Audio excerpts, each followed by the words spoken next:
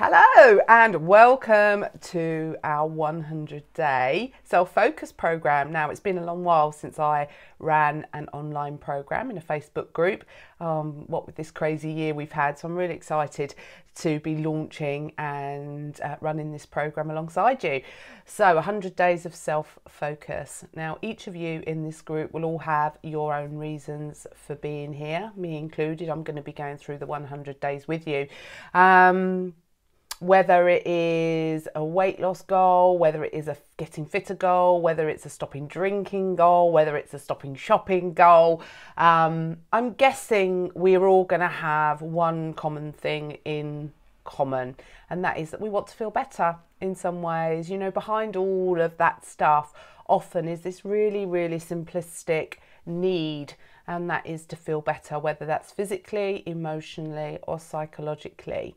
So, I want this to be a bit of a different program, and I'm going to talk a little bit more about that in a moment. You know, the thing is whether whether it's it's our weight that's causing us distress, or our drinking, or spending money, or whatever the thing is, whatever the thing is that is causing us distress, it's really easy and to get caught in just focusing on that thing. So I'll use weight as an example. So if you believe your weight is the problem and that losing weight is going to make you feel better, it's going to, it's like that magic bullet, then it makes total sense that your solution is going to be to go on a diet, to eat less, and to exercise. But I'm hoping one of the reasons that you're here is that you've kind of been around that loop a number of times. You know, if alcohol is the thing, you know, if you've stopped drinking for a period of time but then gone back to drinking, you're going to recognize that familiar pattern that often restriction is only ever going to last for so long you know? It kind of feels a bit like a punishment. The thing is you know when we make these sudden changes it often comes from a place where we feel where we're not feeling good enough and so we desperately want to feel better and so we convince ourselves the conscious mind convinces ourselves that we if we cut out carbohydrates, if we cut out alcohol, if we stop spending money, that that is the solution. And quite often in the short term, we do get this initial kind of feel feeling a bit more buoyant, feeling really good about it, you know. But sadly, the unconscious is at play here, and there's a reason why you overeat. There's a reason why you spend money. There's a reason why you turn to that glass of wine in the evening. Okay, and so that doesn't go away when you choose to restrict. Yeah, it feels a little bit like it does because our minds kind of tend to work in this all or nothing way, where if we set rigid boundaries for ourselves, um, we feel safer when we do that. But of course, it's really hard, even when we set those rules for ourselves. You know, there is a part of our unconscious that's kind of sticking its fingers up to those rules. And so for some people, it's a day. For some people, they can stick to it for a week. For some people, it's a month. But that really involves having lots of willpower. And you know what? It's just really hard to sustain. So, this 100 days is about kind of trying a different approach. It is about focusing on self care generally. And I know that's a bit of a buzzword, but truly taking care of ourselves in all sense of the word. So that's physically emotionally psychologically and spiritually. They're the four pillars of self-care. But that is also in all areas of our life. So you know there's our work our work self our home self how we look after our health how we ha- how we interact with our families how we connect to the wider audience. You know, as humans, we have lots of different aspects of self and we have lots of needs, and quite often some of those needs are not being met. And that's what often drives our behavior in around food and alcohol and shopping. They become a substitute, they become a way in which we can kind of prop ourselves up, a bit like scaffolding, I guess. They become our scaffolding that allow us to go forth in our lives and to, to keep going, if you like but that sustained for a long period of time starts to have an impact on us. So the, the, the next 100 days is going to be split into two areas. The first one is you showing up for yourself every single day, even if you only take part in that 100 days, whereby you start to set some really small steps for yourself. And I'm going to talk more about this as I launch the 100 day, um, this part of the program tomorrow. So I won't go into too much detail today. But this strain of the this this part of the program, the 100 days, is about you starting to set some really small actions for yourself and then we start to build on them over the 100 days. And this is all about starting to build trust in yourself. How many times have you decided that you're going to make changes? You've you've made real drastic changes only to not be able to sustain it. That has an impact on how you trust yourself. And so often we go into the next round of trying to make changes already with this unconscious belief that we're not going to do it because we've proved that to ourselves time and time again. And we set ourselves up for this, we set ourselves up to fail, um, and that actually becomes a familiar pattern for us. So, although it feels horrible to fail, it's familiar. So, we almost accept that that's how it's going to be. So, if you want things to be different, we have to try doing this a different way. And so, over the 100 days, the whole idea is that you're going to set these small actions, and I'm going to talk more about self care and give you some guidelines around things to think about. So, instead of what we're going to do, we're going to move away from this restriction taking away from self and we're going to start building on adding in. And you might automatically think about time and stuff like that but it's small things that you do every single day that you build on. So if you are time um, poor at the moment that needs to be looked at you know, being busy in our lives kind of is like a bit of a badge of honor. We do get recognized for it. We get it makes us feel like we are we have our place in the world. But when we create a busy lives for ourselves, it doesn't leave a lot of time for stuff that's really going to to make us feel better generally as humans. Hopefully that makes sense. So that's the whole concept of the 100 days. We're going to be building on little steps, but every single day you're going to have an opportunity to be accountable for yourselves. One of the most important things for me, I've been on this journey for like 20 years, and I've probably spent 15 years of that blaming the diets that didn't work for me, it being my parents' fault that I was the way that I was, you know, very much living in a world where it wasn't my fault and looking for somebody to come and rescue me. It was only when I I realized that when I can take full accountability for myself without beating myself up, without shaming myself, that's when I kind of felt like I had total control over things. And that's what like the daily accountability is about, you know, whereby you set you're setting yourself these actions and then you're coming into the group every day and you're reporting against how you did. And that's not about being perfect. That is about being honest with yourself and taking responsibility. And if you're doing those actions, great.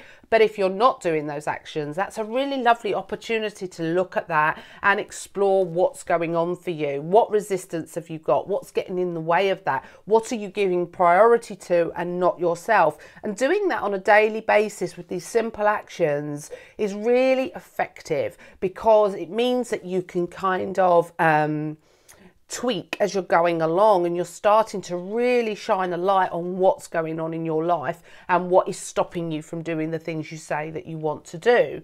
Underpinning the 100 days, I'm also going to be doing some training with you, and that's going to just allow you to to support what's the reality of what's going on as you go through the 100 days. What I also want to encourage in this group is some really open conversations, you know, to actually be able to start exploring the resistance that you're having. I've done this 100 day program. It was not plain sailing for me. There were days where I was so fed up with doing the daily posts and I was resisting it and I didn't do it. And then I came back and did it two days later while I worked through and processed the resistance that was going on in my mind. You know, I've talked about how if I posted too many days where I'd done all of my actions, I started to feel uncomfortable with that. I started to think that people would think I was lying or cheating. And that made me then look at my relationship with success. And I'm hoping that this 100 day you know this this process is not just about achieving that goal at the end of the 100 days.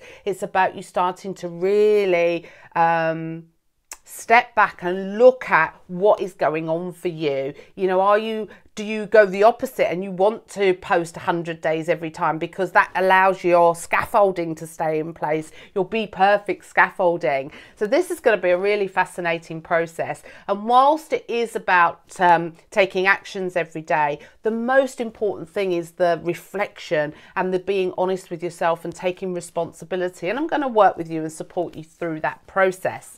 Um, so, just having a quick look at my notes and making sure I'm covering every one thing off. So yeah, two strains, the 100 day, just a bit, there is going to be an exercise that I'm going to pop into the group this afternoon that I'd like you to spend a bit of time um, working through because you I know that you'll have come into this group and have an idea of what it is you want to achieve. Now I'm very aware of like we like familiarity. And even though you're coming into this hoping it's going to be different the way our minds work is we tend to go with comfort zone stuff. So this exercise that i'm going to put into the group this afternoon might feel a little bit deep and you might be thinking oh my god you know i'm not sure i'm ready for this. Please just bear with it because what i want to do from day one is get you starting to think a little bit differently to sort of just put your the thing you think you want to work on to one side and start to just explore the different areas of your life and what might be going on for you in terms of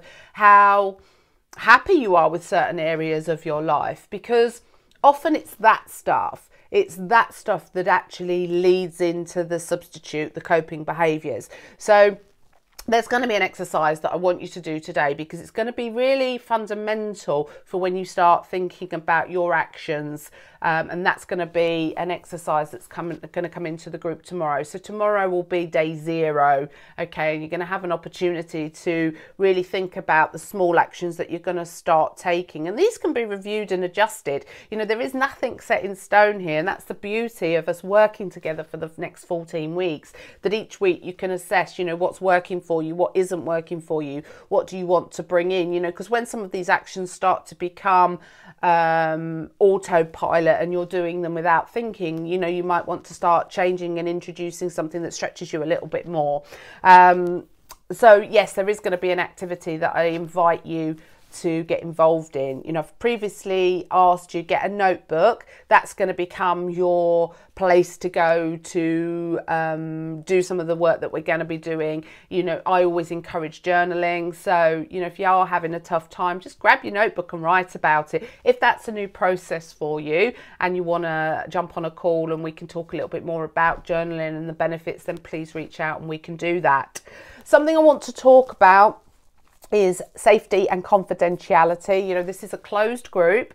Um, it, so only those of you that are in the group can um, see the posts that are going on. You know, as a counsellor, confidentiality is so important to me. And what that means is people may be sharing things that are quite personal to them as they go through this process. So it's really important that they feel safe and able to do that. So there is a separate post to this welcome video that talks a little bit about safety and confidentiality. And I want you to acknowledge that you have have read that post and there's like a done button at the bottom. And what you're doing there is that you are you are committing to keep what's talked about in this group in the group you know no taking it outside and sharing names and things like that. It's really important that we can have that trust within the community. Um, if you want to talk to me about that that's absolutely fine. You, i want everyone in this group to feel safe to be able to share what it is that's going on for them because that's a big part of this process.